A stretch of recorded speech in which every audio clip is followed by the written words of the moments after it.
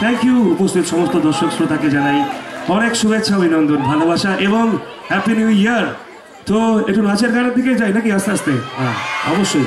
তো শুরু করলাম আরটি বর্মানজির একটি গান দিয়ে। এরপরে একটি হিন্দি গান।